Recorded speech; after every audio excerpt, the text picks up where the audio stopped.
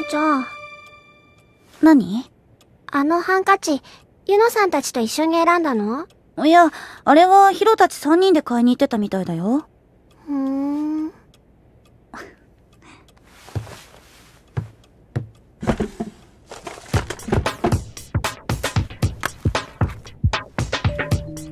お姉ちゃん？開けてみて。